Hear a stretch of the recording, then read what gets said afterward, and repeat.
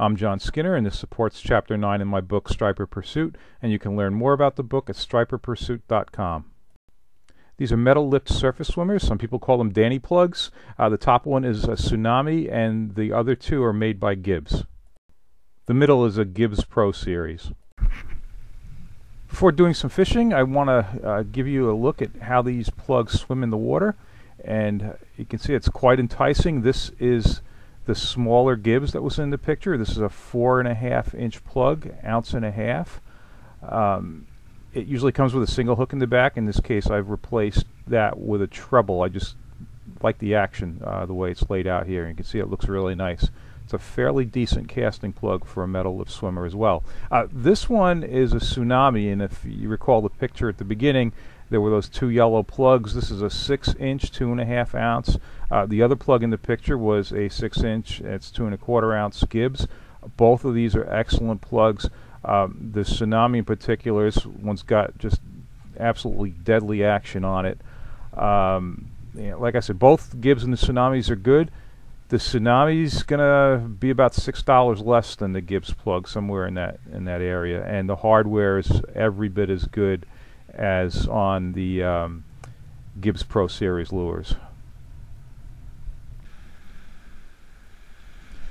Okay, we've got uh, some water movement left to right, really not too much current. Surface fairly calm. Metal lip swimmers do just fine in calm water, and they also do okay in, uh, in, in, light to moderate current.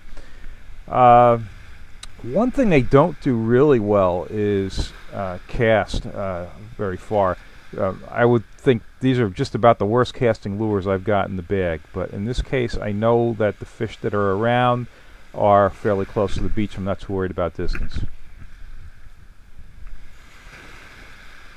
The exact name of that tsunami plug is a Tsunami Timber Flat Nose Swimmer. Uh, not an easy one to remember. The Gibbs is a Danny Surface Swimmer.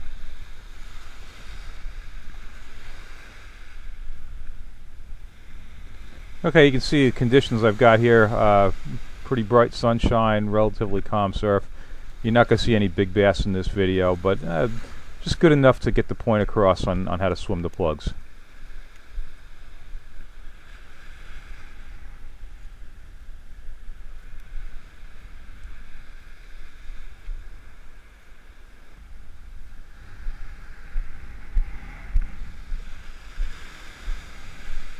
Throughout this video I'm going to try to give you a decent look at the retrieve speed and one thing hopefully you'll, you'll get to notice is that it's somewhat variable.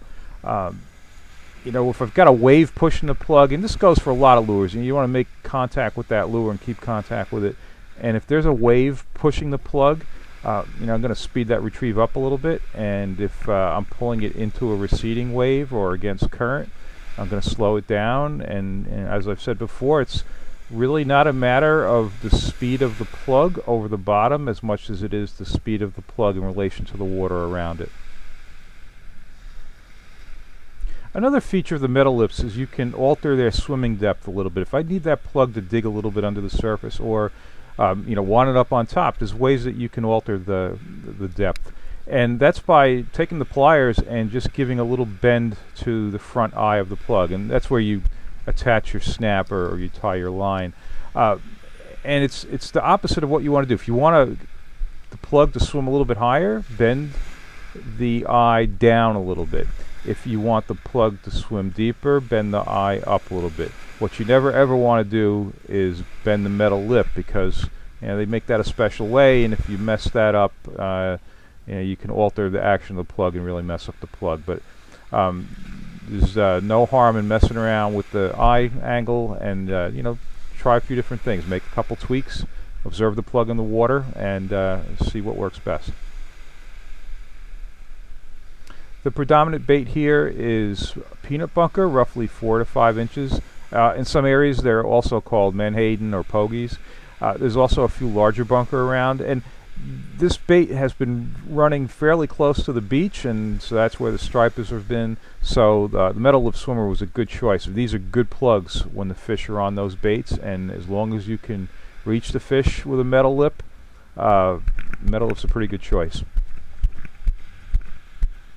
All right, I've moved down the beach a little bit, get some pretty interesting structure here. And uh, the tide is way out, so it's it's very shallow, and that's where the metal lip does great. Uh, you know, it's a good shallow water plug. I happened to notice that there was some bait in this pocket uh, formed by the sandbar and the beach, and I figured this was a good place to swim that metal lip a few times and see what was in there, and sure enough, there was some fish. Something metal lips are good for, especially the this six-inch one that I'm using here, is as a culling tool. Many times throughout the years, in situations, uh, especially with big schools of peanut bunker and mixed size schools of fish, where you've got smallish bluefish, a lot of schoolie bass, but then you've got a couple of nicer fish, uh, 10, 15, 25 pounds mixed in. Uh, the metal lip does a good job of pulling those larger fish out from schools of predominantly smaller ones. So it's something I often have in the bag and will go to it if I'm in a situation where if, you know you throw in a bucktail and every fish ends up being 16, 18 inches, but you know there's some better fish there. A lot of times the way to get those better fish is to go to a larger plug, such as the metal lip swimmer.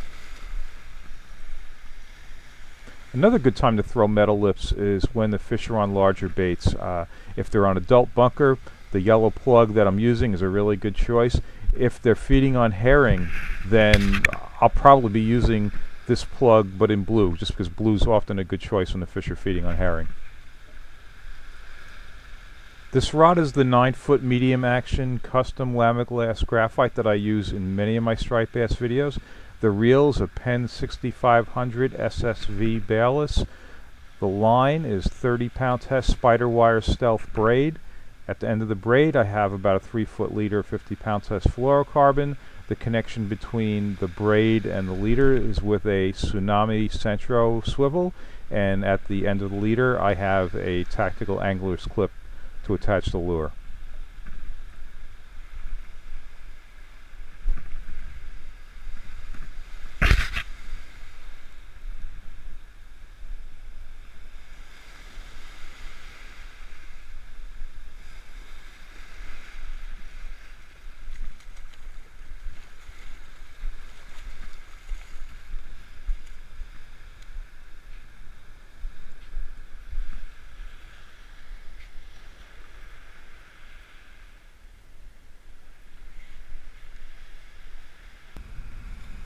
Okay, a different day here and a different plug.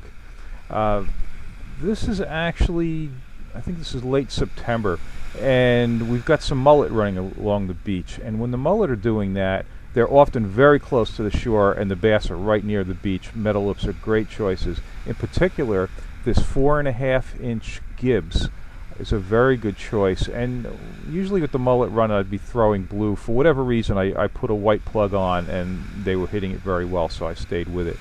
Uh, you'll see I've dropped that rod angle really low because I'm concentrating on right there, right at the beach lip. It's so common that the, when they're feeding on mullet that they're right close like that. And you've got to work that plug all the way to the beach. And to do that properly, it helps to drop that rod angle down, keep that plug swimming right up to the beach, and uh, that fish was close.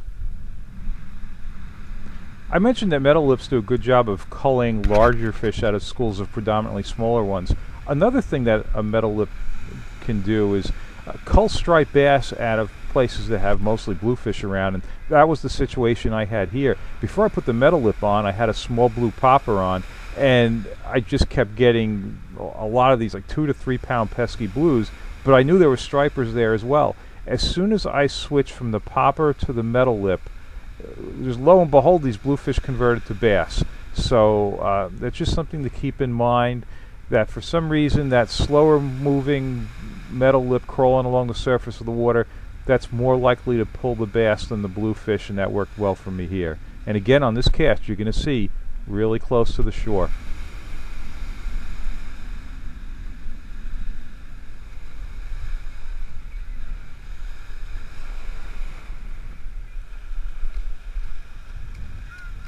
this is a time of the year when there's actually a lot more people just walking around on the beach than there are fishing, but uh, certainly there's some fish around. They're just not showing much.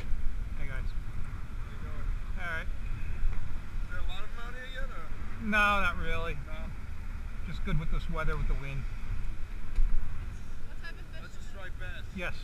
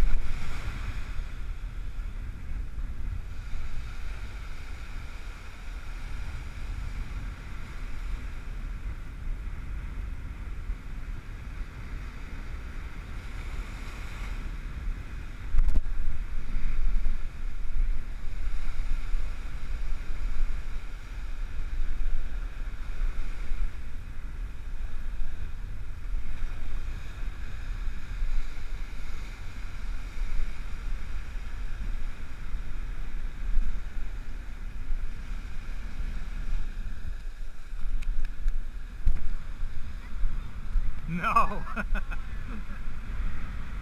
Good question, though. One of the kids asked if that was the same fish I caught on the previous cast. Okay, if you enjoy these videos, please subscribe to my channel.